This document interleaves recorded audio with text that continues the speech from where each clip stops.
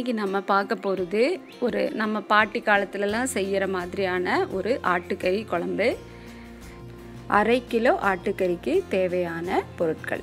காஞ்ச மிளகா ரெண்டு டேபிள் ஸ்பூன் அளவுக்கு மல்லி ஒரு அரை டீஸ்பூன் சீரகம் அரை டீஸ்பூன் மிளகு ஒரு ஒரு டீஸ்பூன் அளவுக்கு சோம்பு ஒரு மூணு கிராம்பு சிறிய துண்டு பட்டை. அதுக்கப்புறம் ரெண்டு கைப்பிடி நிறைய சின்ன வெங்காயம் உரிச்சு வச்சுருக்கேன். ஒரு மீடியம் சைஸ் தக்காளி இஞ்சி பூண்டு பேஸ்ட்டு அரை மூடி அளவுக்கு தேங்காய். இப்போ அடுப்பில் நம்ம வானொலி வச்சு மல்லி மிளகா சீரகம் இதெல்லாம் நம்ம எடுத்து வச்சுருக்கிற எல்லா பொருளையும் போட்டு கொஞ்சமாக ஒரு கால் டீஸ்பூன் அளவுக்கு எண்ணெய் ஊற்றி அதை நம்ம என்ன பண்ணுறோம்னா நல்லா வறுக்கிறோம்.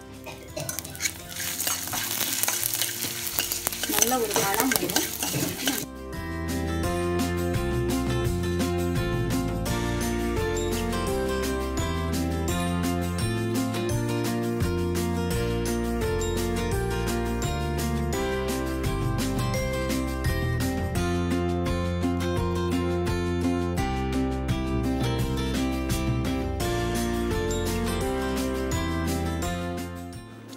அடுத்தது வெங்காயம் தக்காளியை போட்டு நல்லா பொன்னிறமாக ஆக வரைக்கும் நல்லா நம்ம அதைய வதக்கிக்கணும்.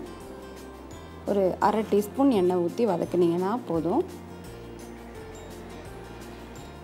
கடைசியாக கொஞ்சம் கருவேப்பிலையும் அது கூட சேர்த்து வதக்கிடுங்க. அடுத்து நம்ம ஏற்கனவே வறுத்து வச்ச அந்த மல்லி கலவையை மிக்சி ஜாரில் போட்டு ரொம்ப ஃபைன் பேஸ்ட்டாக நம்ம அதைய அரைக்கணும்.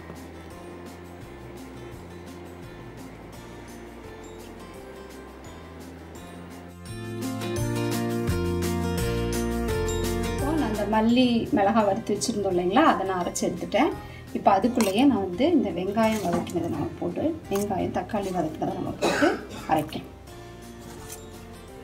இப்போ நம்ம வறுத்து வச்ச மசாலா நல்லா ஃபைன் பேஸ்ட்டாக அரைச்சி எடுத்து வச்சுருக்கோம். சுத்தம் செஞ்சு வச்சுருக்கிற ஒரு அரை கிலோ மட்டனில் மஞ்சள் பொடியும் உப்பு மட்டும் போட்டு நான் அதைய வேக வச்சுக்கிறேன். இதை வந்து பாத்திரத்திலே வச்சு நம்ம குழம்பு செய்யலாம். ஆனால் ரொம்ப டைம் ஆகுன்றதுனால நம்ம குக்கரில் ஒரு ரெண்டு விசில் மட்டும் விட்டு வேக வச்சு இப்போ ஒரு மண் பாத்திரத்தில் ஒரு ரெண்டு ஸ்பூன் அளவுக்கு நான் எண்ணெய் ஊற்றி வச்சுருக்கேன். இப்போ இந்த எண்ணெய் காஞ்ச பிறகு இதுக்குள்ளார கொஞ்சம் சின்ன வெங்காயமும் கருவேப்பிலும் நறுக்கி வச்சுருக்கேன். அதை வந்து போட்டு நம்ம தாளிக்கிறோம்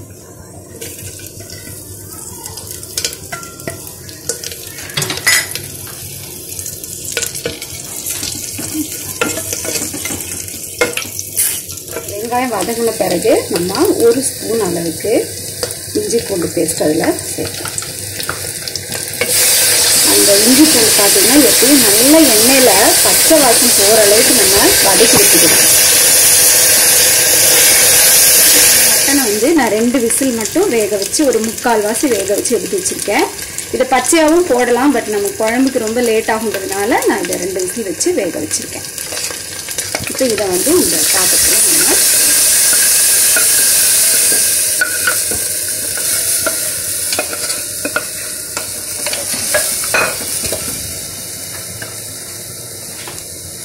இப்போ இது கூட நம்ம அரைச்சி வச்சிருக்கு இல்லைங்களா? அந்த மசாலா சேர்த்துறோம் நம்ம.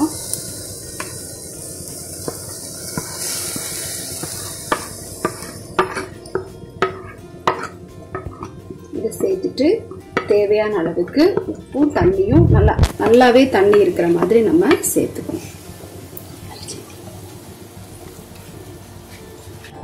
இப்போ இந்த மசாலா போட்ட பிறகு நல்லா அந்த மசாலா அது கொதிச்சு வேகிற அளவுக்கு நல்லா நீங்கள் தண்ணி சேர்த்துக்கலாம். இந்த டைமில் உப்பு பார்த்துக்கோங்க இது நல்லா கொதிக்க ஆரம்பிச்சு ஒரு அஞ்சு நிமிஷம் நல்லா கொதிச்சு அந்த பச்சை வாசலாம் போகணும்.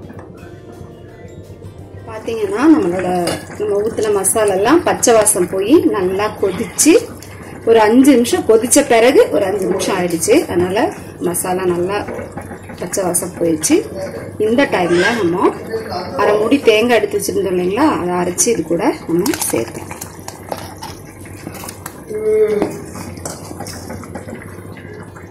இப்போ நம்ம தேங்காய் ஊற்றின பிறகு இந்த குழம்பு கொதிக்க ஆரம்பிச்சிச்சு. இப்போ பார்த்தீங்கன்னா இந்த குழம்புல நான் கிட்டத்தட்ட ஒரு நாலஞ்சு டம்ளர் தண்ணி போல் சேர்த்திருக்கேன். அந்த குழம்பு திக்காக இருக்காது. நல்லா தண்ணி மாதிரி இருக்கும். ஆனால் சாதத்தில் ஊற்றி சாப்பிட ரொம்ப சுவையாக இருக்கும். இந்த ஸ்டேஜில் நம்ம ஸ்டவ்வை ஆஃப் பண்ணிடலாம்.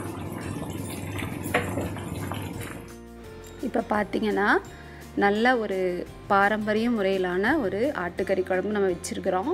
இது ரொம்ப ஆரோக்கியமானதும் கூட. இது உங்களுக்கு பிடிச்சிருந்துச்சுன்னா லைக் பண்ணுங்கள் ஷேர் பண்ணுங்கள் சப்ஸ்கிரைப் பண்ணுங்கள் தேங்க்யூ